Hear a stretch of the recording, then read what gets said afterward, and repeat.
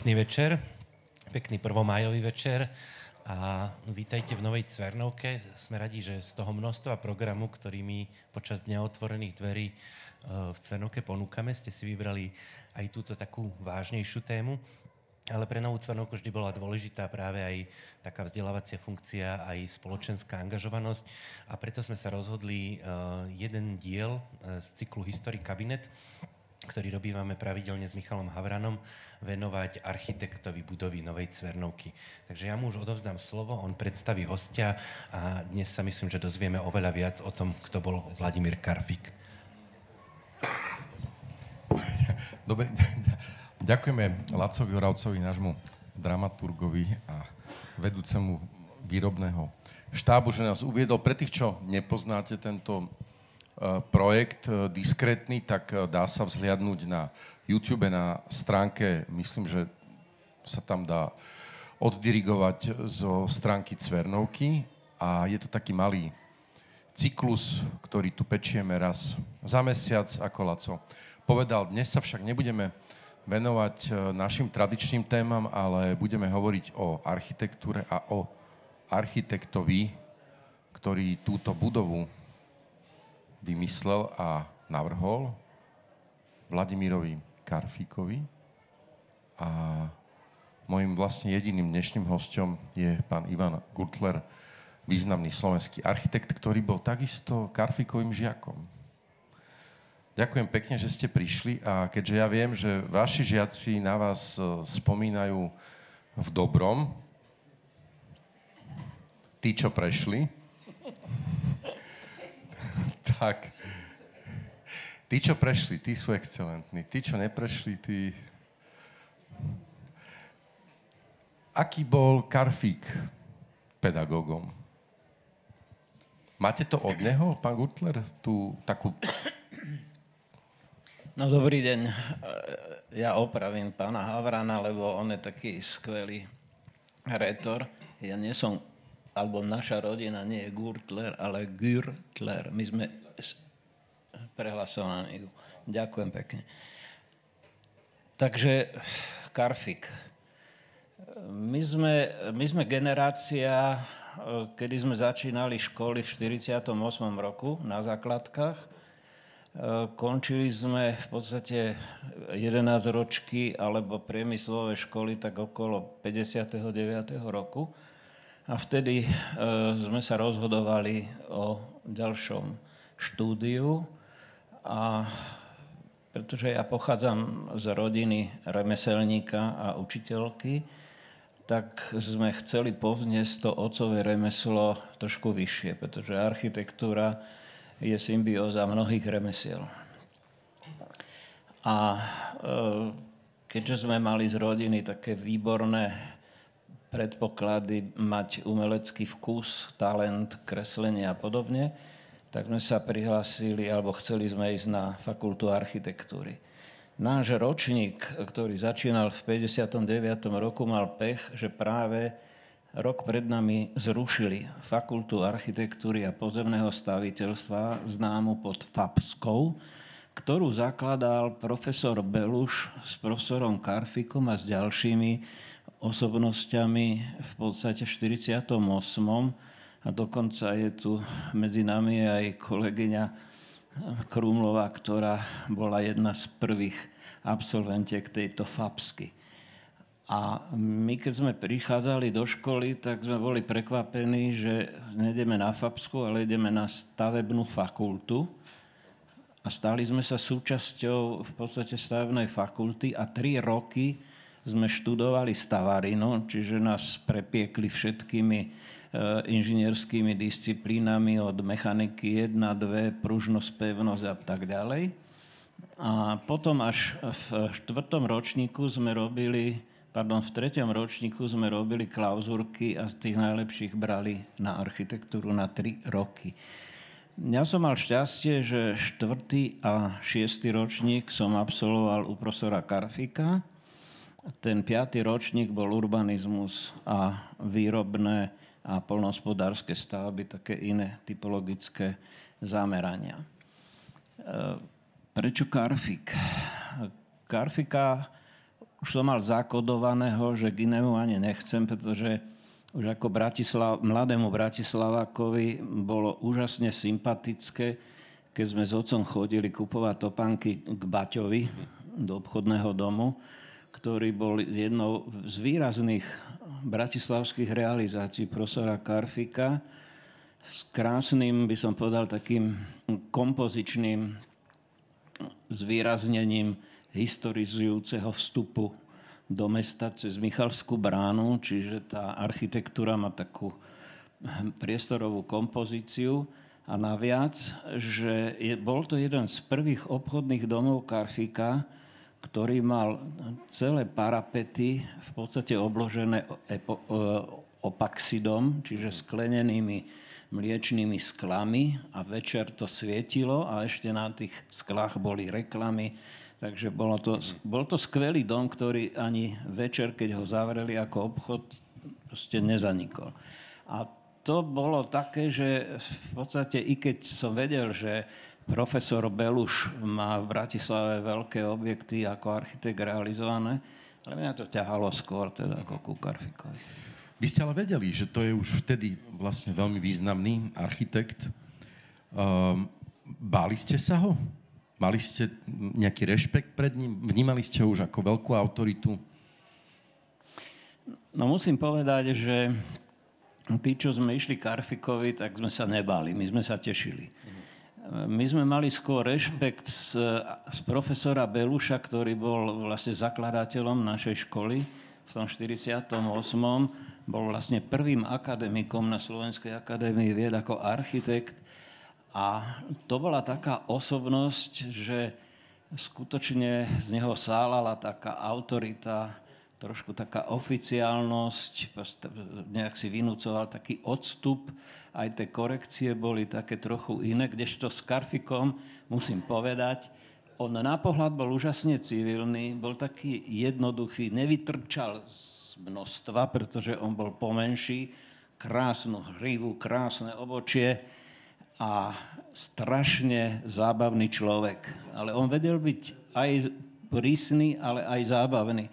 On vedel v podstate, eh, jak sa hovorí, používať tú metódu cukru a biča čo treba vedieť v škole, pretože samozrejme nemôžete byť len stále milí. No, keď ste prišli k nemu do ročníka, tak ste isto vedeli, že je to človek, ktorý pracoval s Corbusier, ktorý pracoval s Losom. Vytváral to nejakú auru okolo neho špecifickú v porovnaní s ostatnými pedagógmi? Áno, z toho pedagogického zboru e, vyčnevali podľa mňa dvaja. Na to bol profesor Karfik a profesor Hruška. Z hodov okolností obidvaja kolegovia prišli od Baťu. Uh-huh. Pretože Karfik bol šéfom projekčnej kancelárie a zase e, profesor Hruška viedol urbanistický ateliér po Gáhurovi. A títo ľudia v podstate už počas Prvej republiky sa stali veľmi významnými československými architektami modernej československej funkcionalistickej architektúry, pretože Karfik už na škole v Prahe e, sa zúčastňoval debat s, progresív, s progresívnymi brati, e, medzinárodnými architektami, či to boli Holandiania, Nemci, Francúzi a tak ďalej a po skončení školy on mal osobitý záujem ísť do Paríža, pretože Paríž bol centrom architektonického diania. A e, jeho otec mu slúbil, že teda jeden, dva roky mu zaplatí v Paríži, tak v podstate prišiel do Paríža a už tam e, sa stretal s takými menami osobne ako študent Auguste Perret Le Corbusier a proste všetci tí Ozenfant a tak ďalej. Čiže proste to boli všetko už ľudia, ktorí s ním viedli dialog a on zase ako mladý študent bol úžasne, jak by som povedal, ambiciózny nasávať tie informácie toho nového prúdu po prvej svetovej vojne, čiže modernizmus, kubizmus, plastici, e, teda neoplasticizmus Holandska napríklad. Uh-huh. A to bolo vlastne to šťastie, že on potom z Paríža odišiel od Corbisia cez Angliu do Chicaga a v Chicagu sa stretol s Baťom. A Baťa ako budúci priemyselník v podstate robil v Amerike priemyselnú špionáž pretože tam už fungovali tie spriemyselnené továrne v rôznych úrovniach tých e, ľahkého alebo ťažkého priemyslu. A v podstate tam aj Baťa dal ponuku Karfikovi prísť do Zlína. Po zlínskom období, ale môžeme sa ešte k nemu vrátiť, e, dostáva Karfik vlastne ponuku prísť do Bratislavy od profesora Beluša. Tak sa vlastne stretávate. Čo si myslíte, prečo to prijal prísť do Bratislavy? No to je také trochu jednoduché. Viete, Baťa prosperoval aj počas hospodárskej krízy, aj počas vojny. Pretože e, Baťa bol po vojne zaznávaný, pretože šil teda ako topanky alebo obu pre ar- nemeckú armádu. Čiže vlastne po vojne sa Baťov koncert ako rozpadol a e, Karfika náhodou oslovil bývalý, riadi, bývalý riaditeľ Baťových závodov v, Baťovi, e, v Baťovanoch, ktorý sa stal tu v Bratislave riaditeľom Dynamit Nobel fabriky. A keďže vedel o Karfikovi, tak ho oslovil, že či by neprijal ponuku projektovať závod mieru ako novú továreň na umelé vlákna. No a Karfik samozrejme tú príležitosť prijal alebo zvážil, pretože nemal žiadne angažma. Tak prišiel do Bratislavy, býval u svojho známeho na palisádoch nedaleko vily profesora Beluša, a náhodou sa na ulici stretli ako bývalí kolegovia zo štúdií v Prahe na ČVUT. Ho Beluš oslovil, že či by eventuálne e, neprijal ponuku aj od neho učiť. Ale on hovorí, no dobre, ale ja som v živote neučil. A hovorí, to sa neboj, to za dva týždne zvládneš. Však si viedol celé veľké ateliéry, si viedol diskuziu s odborníkmi a, a, a tak ďalej a tak ďalej.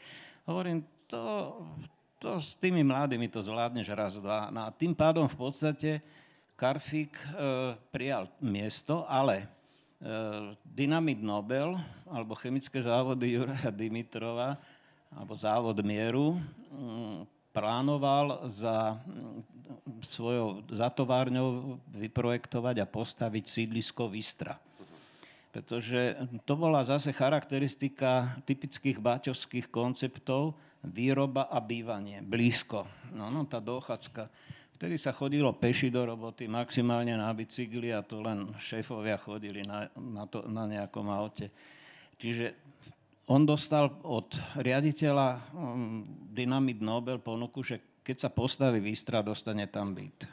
No a on potom sa vlastne s celou rodinou presťahoval ako do Bratislavy, len jeho prvá manželka veľmi bola chorlava a keďže mal svojho brata na Vinohradskej nemocnice, tak ju tam necha- odviezol do Prahy, bohužiaľ aj v Prahe skon- skonala a ostal tu vlastne so svojimi dvomi dcerami.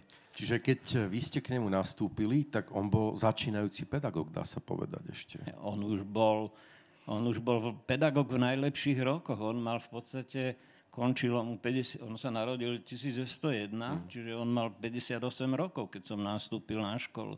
A to je jedna z najlepších, by som povedal, to je mhm. skvelá mm-hmm. doba, kedy mal za sebou úžasne bohatú prax, dá sa povedať, po celom svete. Cestovaný po celom svete. Bol v podstate súčasťou veľkej architektonickej spoločnosti, volala sa SIAM, Conseil International d'Architecture Moderne, až do jej konca.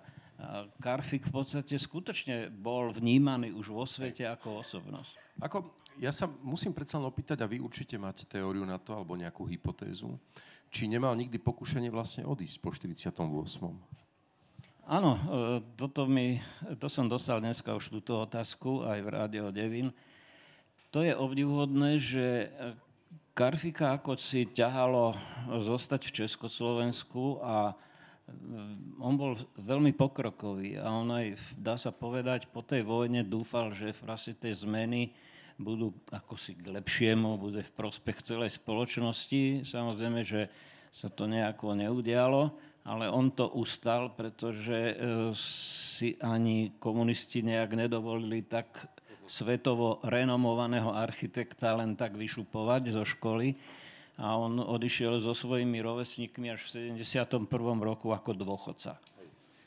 Lebo on mal veľmi dobrú aj na dôchodku medzinárodnú kariéru, vlastne nemal problémy cestovať, nemal problémy pôsobiť v zahraničí, publikovať v zahraničí. Bol on taký ako trošku chránený druh aj toho režimu minulého? Ja si myslím, že možno aj áno pretože skutočne, ale on nikdy nebol poplatný tomu režimu.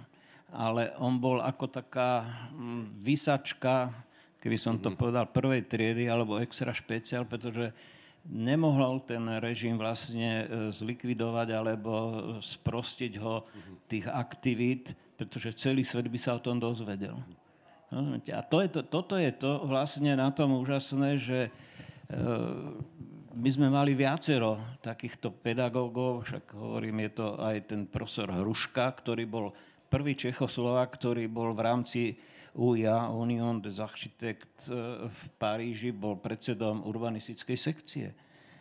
A takisto ako Karfik mal kontakty vďaka tomu, že firma Baťa projektovala realizovala po celom svete. Že keď si zoberiete, že obchodný dom mal v Bratislave, v Liberci, v Amsterdame, kopec továrny v Indii, v, proste v, e, po celom svete, v Amerike. Čiže on, on pendloval po svete a tým, že on vedel anglicky, francúzsky, nemecky, on nemal absolútne problém. Ale on určite mal ponuky celý život, nie? Ísť realizovať. Však napokon na Malte aj robil realizácie, robil isto aj inde, ale predsa on ostal tu, implantovaný v československom prostredí. A toto je otázka už vlastne aj na vás a na vašu, na vašu skúsenosť profesionálnu.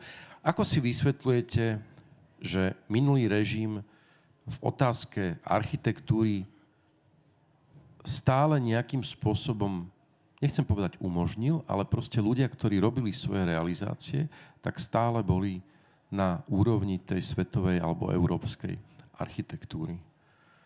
Ako keby tam neboli nejaké také závažné e, prekážky, keď sa pozrieme aj na realizácie v Bratislave, aj v budove, v ktorej sedíme, lebo preto dnes o Karfikovi diskutujeme. Že to boli stále veľmi moderné budovy, ktoré boli súčasťou trendov. Pozrite sa, e, Karfik ako 30 ročný, keď prišiel do Zliena, jeho prvou zákazkou bol spoločenský dom, hotel Kiev. A Tomášovi Báťovi boli predkladané dve alternatívy. Gahura, Karfik.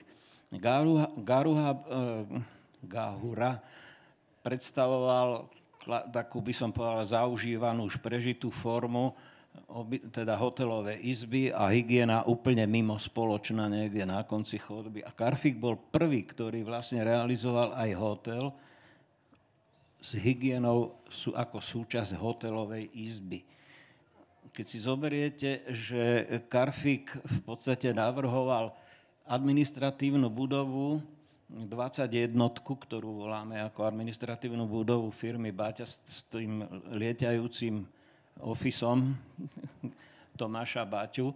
To bol najvyšší objekt, ktorý sa postavil vôbec v Európe v, te, v tom čase a keby neboli problémy so zakladaním v Brne, tak tam stojí 27 poschodový mrakodrap. Čiže už ako 30 ročný prišiel s takýmito úžasnými konceptami a on vlastne sa dostal do povedomia celej Európy. Však on keď sa ako študent zoznámil v Paríži s Peretom a s Korbikom, u ktorého nakoniec robil, tak ty sa boli pozrieť na Baťov Zlín ako na zázrak, pretože to bolo v podstate prvé lineárne priemyselné mesto realizované v Európe. Ako si to vysvetľujete, že tá medzivojnová československá architektúra hľadá naozaj ako poprednú úlohu v tvorbe európskej a svetovej? Čo to bola? Bola to náhodná náhodná konštelácia talentov a generácie, alebo to bolo podmienené aj eufóriou zo vzniku Československej republiky?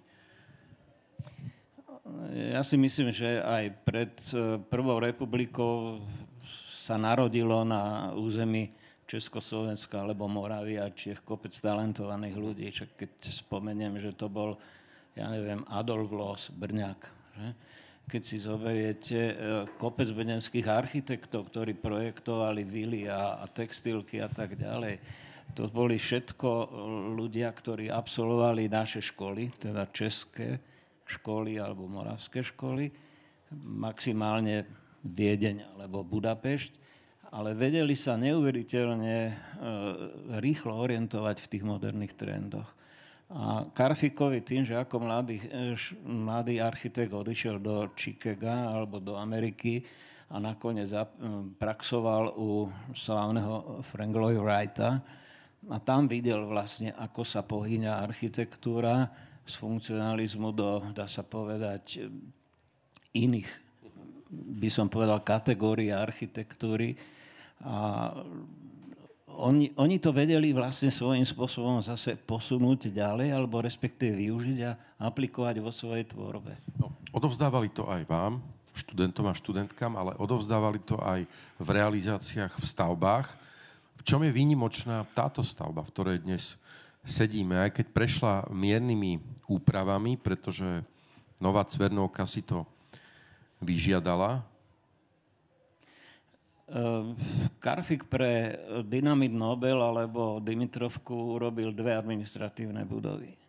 Jedna je pri závode Mieru, teda na Vajnorskej, a druhá je táto. A táto vlastne slúžila ako administratívna budova chemických závodov.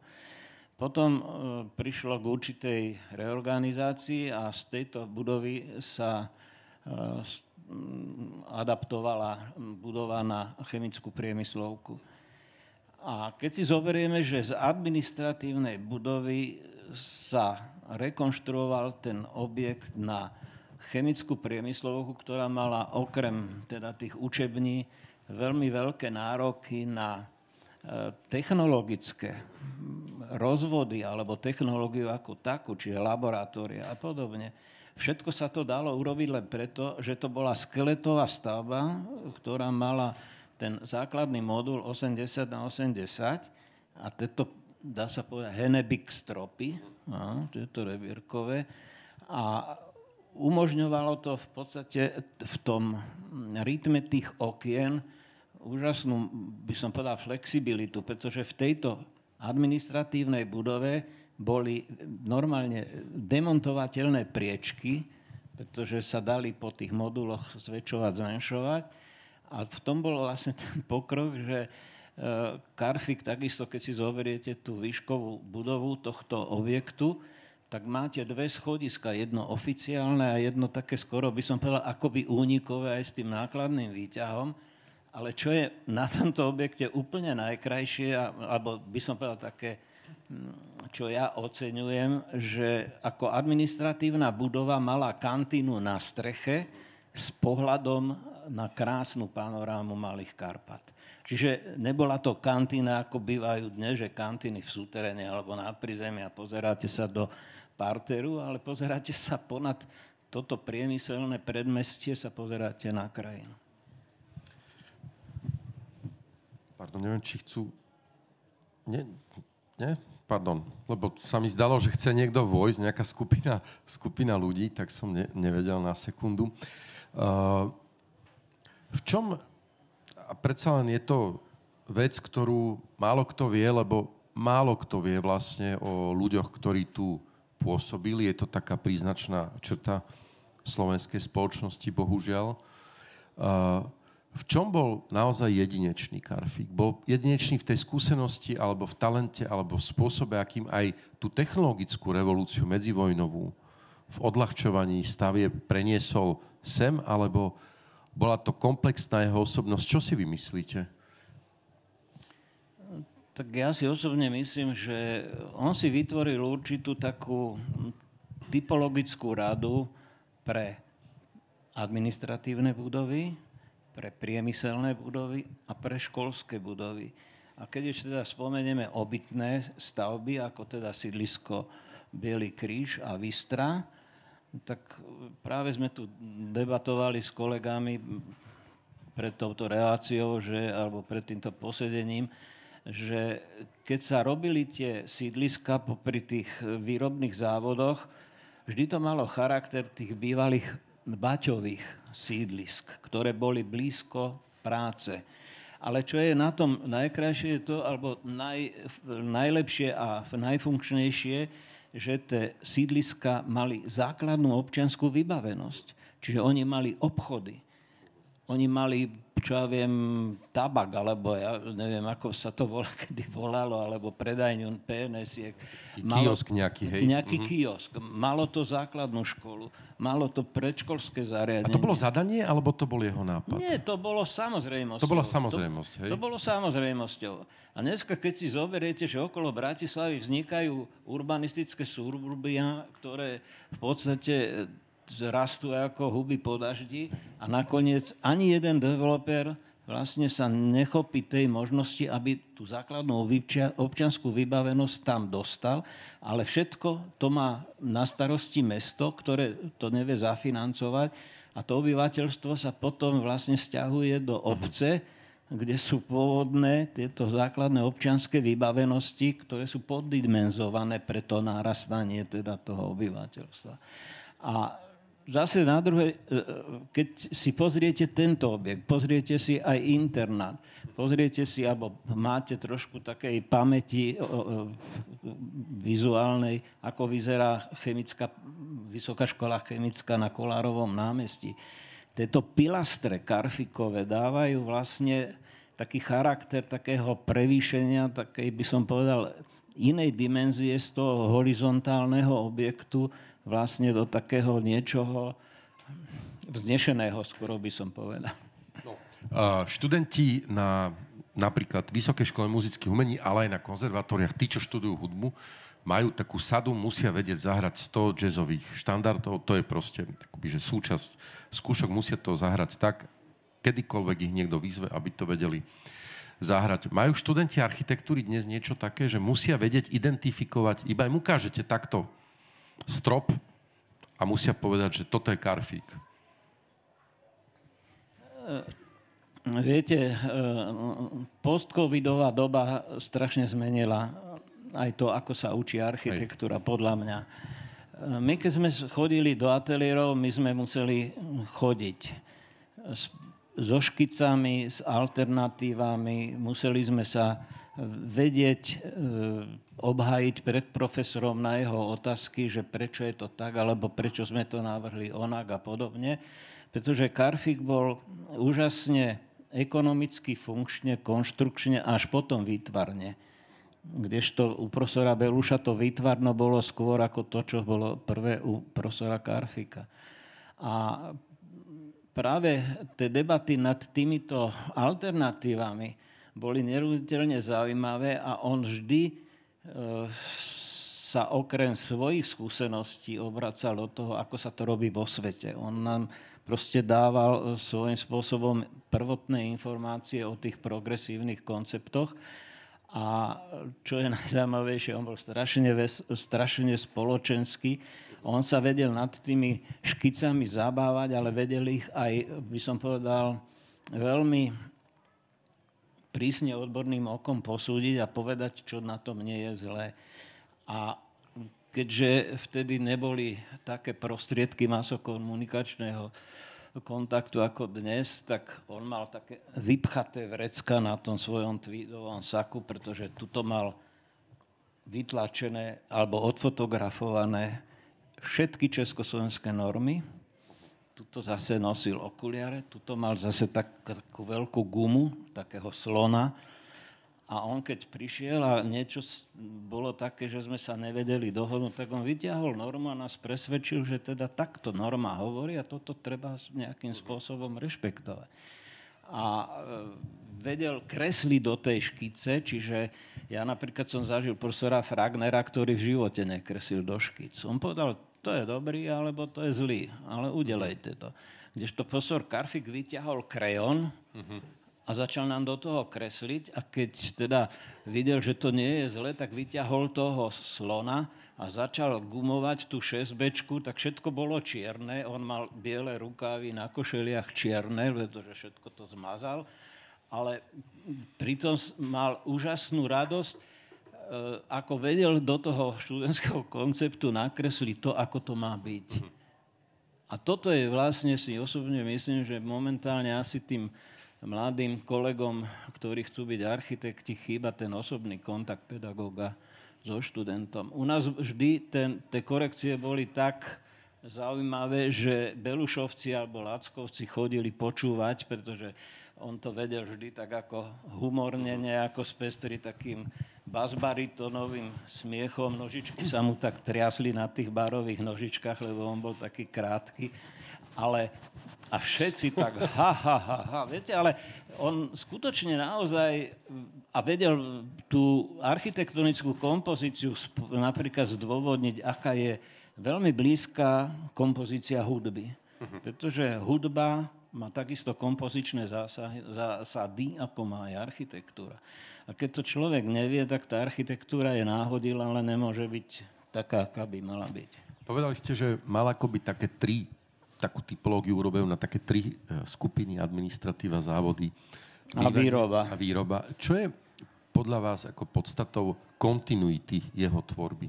Tá vec, ktorá sa zachovala alebo ide krížovo cez väčšinu veľkých vecí, ktoré navrhol? On si nevyberal, on, on čo prišlo, to urobil. Uh-huh. A v tom je, myslím si, Ehm, poslanie architekta sa vedieť postaviť ku každému typologickému druhu. Keď si zoberiete vynikajúci kostol v Petržálke, vynikajúci kostol evangelický v Zlíne, krásny kostol v Partizánskom. A to bol proste tak, ako Korbík urobil Laturet alebo Ronchamp a pritom nebol katolík, ale vedel urobiť krásne cirkevné stavby. Čiže v, nejak sa vcítiť do potreby urobiť z pozície svojej profesie pre ľudstvo alebo pre, pre investorov, pre ľudí, ktorí to majú užívať, niečo krásne. A taká najpríznačnejšia súčasť jeho tvorby, nejaký moment architektonický alebo známka, ktorá je, povedali by ste, že toto je karfíkovské, typicky tak je to čo? Tak ja by som povedal, napríklad tieto bratislavské školy. E, zoberme si, že vo Vystre postavil prvú panelovú školu, kde sú prvýkrát e, aplikované štvorcové učebne z klasických pozdužníkových učebník, v ktorých sa vždy učilo frontálne a e, tam je uplatnenie cez dve podlažia bilaterálne osvetlenie, tak ako aj v týchto chodbách máte bilaterálne osvetlenie cez svetlíky tých učebňových stien do chodieb. A je to tak skvelá škola, že dneska ju vlastne užívajú ako Valdorskú školu s veľmi progresívnymi pedagogickými postupmi alebo systém. Ja, my máme priestor aj na otázky, nejaké dve, tri, keby ste chceli, tak nech sa páči. Máme tu aj mikrofón k dispozícii, lebo táto diskusia sa nahráva, aby sme mali zachovanú zvukovú stopu. Tak pokojne sa prihláste a opýtajte sa. Dobrý večer. A prosím vás pekne, e, tak ako ste povedal, že môj kolega, čo tam sedí, schovaný za stolom, Áno, my sme karfikovci. Že, tak jak ste povedal, že on sa ohradil, že není Gürtler, ale Gürtler, tak ja by som len chcel povedať jednu vec, aby sme to dali na pravú mieru. Túto budovu totižto s profesorom Karfíkom projektoval Anton Rokošný, ktorý bol na katedre s profesorom Karfíkom a prakticky cez neho sme takisto prešli. Takže je spoluautorom toho, tejto budovy. Áno, a doplním ešte, že e, Dono Rokošný bol absolventom Baťovskej školy. To, aby ste vedeli, že to niečo ich pojilo. A samozrejme, že títo e, profesori, či Beluž alebo Karfik mali okolo svojich asistentov. Oni v tej počiatočnej fáze pôsobenia na vysokej škole aj mohli projektovať. Čiže tak ako profesor Lacko naprojektoval most SMP s Kušnírom a so Slameňom a plus so špecialistami, tak aj Karfik mal samozrejme toto všetko neurobil. A ešte, pardon, ano? poviem, to, prepačte mi, e, tomu Gürtler, Gürtler, Uh, on, profesor Karfik, profesorovi Karfikovi chodilo na katedru strašne veľa zahraničných časopisov, ktoré neboli v oficiálnej knižnici fakulty. A nás, takých chtivých, vždy púšťal teda ako k tým časopisom. My sme mu kreslili perspektívy do jeho knižiek o školských stavbách a tak ďalej. A e, keď doniesol časopis a sa debatovalo napríklad nad francúzským časopisom L'Architecture d'aujourd'hui a keďže my sme sa e, učili len ruštinu 12 rokov, tak my sme nevedeli, čo je francúzština, nevedeli sme, čo je angličtina, tak mali sme takého kolegu, ktorý to začal tak lámať, že l'architecture d'aujourd'hui, no proste začal to tak slovensky a on hovorí, slyšte, když neumíte řeč, tak se to naučte aspoň čisté nadpis. Takže on skutočne naozaj vyžadoval a sprostredkovával taký kontakt, aby ste na sebe pracovali. Nech sa páči. Máme tu vpredu Laco otázku asi. Ja? Ja by som chcela iba pár slov. Ja som ešte trošku staršia ako pán kolega. Ako pán kolega. Čiže ja som študovala vtedy, keď v Bratislave vôbec bola postavená škola a vôbec sa začala vyučovať architektúra. Ja som v tej dobe bola taký vlezlý, nepríjemný človek, lebo vtedy, dovtedy to robili len muži. A teraz jedna žena sa tam objavila, tak som mala iné pohľady. Ale mala som, teda tým, že začala tá škola sa vyučovať tu, u nás neboli radšej slovenskí učitelia. Prišli všetci českí učitelia. A ja tvrdím, že najlepší učitelia vôbec, mali sme to šťastie. A toľko sa tu spomínal Beluš a Karfik. Hej. Ja napríklad som končila školu u pána profesora Beluša. Ale my sme našťastie sa vystriedali u všetkých tých profesorov. Čiže som poznala aj Karfika. Ja všetky tie dáta a tie fakty, čo tu spomenul pán kolega, to neovládam. Ale môžem povedať, že Karfik bol jeden dokonalý praktik, dokonale pravdivý človek a preto ho každý bral a každý mu veril, lebo on neurobil niečo tak od vetra on proste to mal v sebe, tú poctivosť. Ja hovorím, on bol taký pravdivý chlap skrz na skrz. A už bol taký skôr reprezentačný a taký... A keď, keď ja som teda začala študovať, tak boli postavené tie prvé školy. A to bola fakulta architektúry. A dolu nižšie bola tá fakulta, čo bola chemická. A tu prvú robil Beluš, tam, keď vidíte tie vstupné priestory reprezentačné, dneska sú tam výstavy a všeličo. A tá Karfiková praktická, všetko ako kde, čo má byť. Tam nemôže byť niečo na nesprávnom mieste, správnu prevádzku a tak. A bol človek, ste sa pýtali, či sa ho žiaci báli. Žiaci ho mali radi, lebo on bol taký otvorený a úprimný, že on aj to zlé vedel povedať, že to bolo poučením, hej. Takže Karfik bol vynikajúci, ja nemôžem si pomôcť. Ďakujem, ďakujeme veľmi pekne za, za spomienku. Ja sa ešte opýtam, e, čo myslíte, prečo sa vlastne odsťahoval z Bratislavy, keď už skončil? Lebo napokon odišiel do Brna. On po škole, keď dostali cyklostylovanú výpoveď ako 70-roční pedagógovia všetci od takého, by som povedal, komunistického vedenia fakulty, tak on pôsobil ešte na Urbione ako expert. No a potom dostal pozvanie na Maltu. A on pôsobil 4 roky na Malte kde vyprojektoval štadión, vyprojektoval vilu pani prezidentke, no, niekoľko objektov, ktoré skutočne po ňom zostali. A on keď sa vrátil, tak si ešte počas teda toho malckého pobytu postavil na Barvičovej v Brne rodiny dom, do ktorého sa nasťahol. Musím povedať, že profesor Karfik nepil žiadny alkohol celý život, pil len kávu, ale aj tú kávu mala vždy jeho žena, aspoň čo sme my e, mladší poznali Svietlu, e, Fr- Francu ako jeho tretiu ženu, tak v podstate dávala pozor, aby toho moc nebolo. A keď mal profesor Karfik 90 rokov, boli sme na exkurzii v Zlíne zo školy, dva autobusy.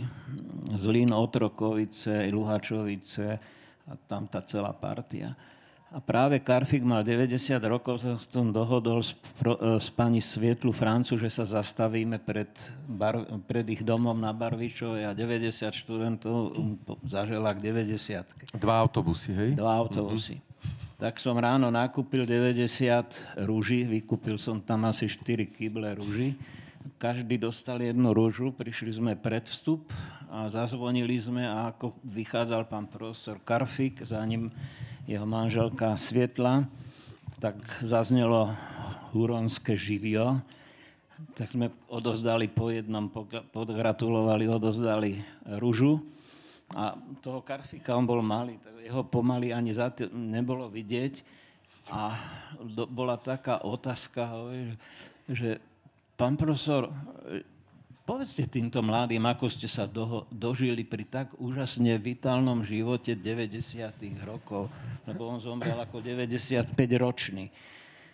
A on hovorí, pane kolego, každá žena 30 let plus. On bol trikrát ženatý, ako Frank Lloyd Wright, takže páni, tri, každá žena 30 let plus. Ďakujeme pekne. Ešte máme priestor na jednu otázku, nech sa páči, alebo poznámku, alebo spomienku, ak máte chuť. Teraz je tá príležitosť.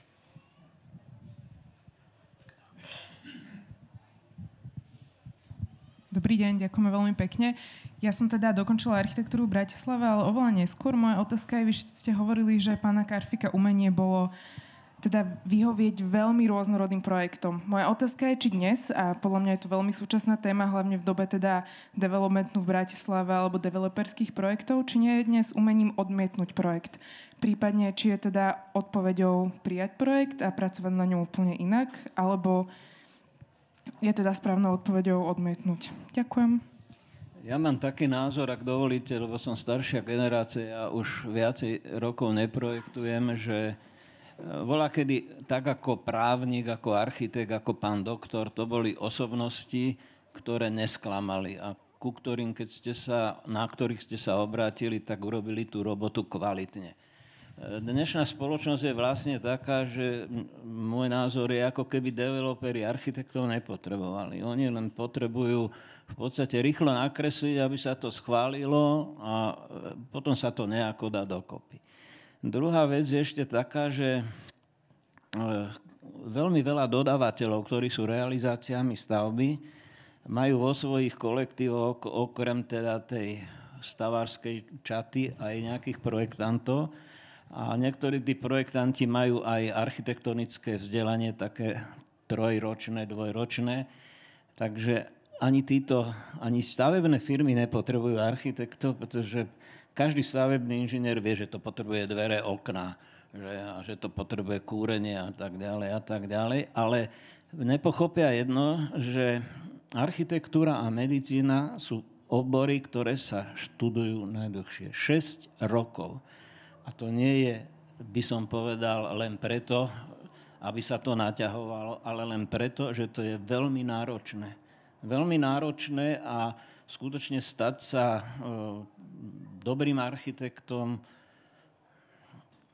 je ťažké a škoda, že dnesná, dnešná spoločnosť takých tých kvalitných architektov nevie oceniť. A to, čo ste sa pýtali, že prečo Karfik neodišiel, ja som vždy bol nadšený tým, že neodišiel a som mu fandil. A keď som bol na škole a odchádzal z jednej alebo z tých ostatných škôl, vždy som mojim študentom umožnil zahraničné štúdium, zahraničnú prax a povedal som im, chodte von ako učni, ale vráťte sa ako majstri. Ale bohužiaľ je to také 50 na 50, že tých majstrov je 50 vonku, ale 50 sa vráti domov. Ešte sa vrátime k otázke. Či je dnes umením odmietnúť? Áno, ja si osobne myslím, že je umenie odmietnúť, alebo by sa malo odmietnúť, len na to odmietnutie čakajú zase ďalší kolegovia, ktorí dokonca sú schopní podliesť tú latku aj kvality, aj, aj, aj tých financií. A to je trošku, ako by som povedal, nie dobre. Tak osobná dilema vyriešená, ale projekt ide, ide, ide ďalej.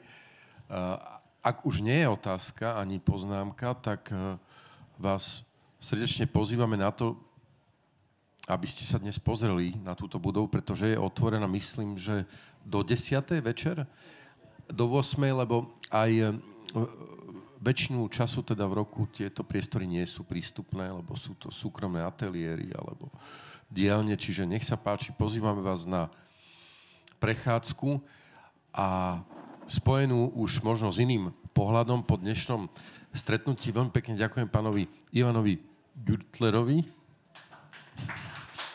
za to, že si našiel čas a prišiel rozprávať o fenoméne Karfíkovom a jeho pôsobení aj v Bratislave.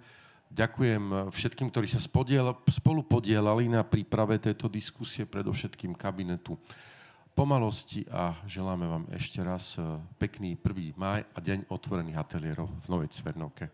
Pekný večer. Ak dovolíte, ja by som sa vám chcel všetkým poďakovať, že ste v takom hojnom množstve prišli. Vidím tu, že polovička je mojich architektov, kolegov, mladších, starších a tá polovička je takí, ktorí majú záujem o architektúru a ďakujem vám, pán Havran, za túto možnosť vás osobne poznať a konečne sa vyjadriť autorovi tejto budovy. Takže ďakujem. Ďakujem pekne. Všetko dobre, ďakujem.